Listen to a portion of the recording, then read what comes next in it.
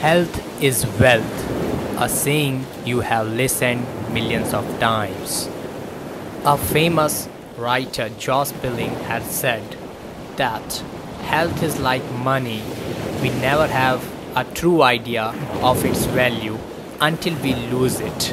A continuous negligence of health is pushing you towards a place where dreadful diseases are waiting for you.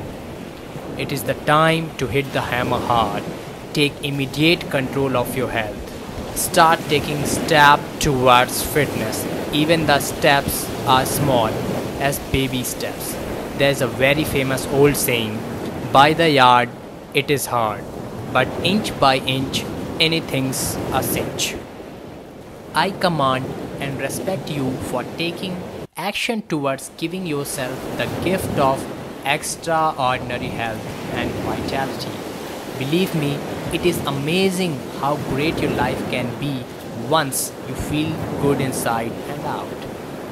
The most valuable instrument, the asset you can ever own is a healthy and fit body. No matter what riches you may have, if you are unfit and unhealthy, you have nothing. When a million things can bring you down, find one reason to keep you up. Thank you.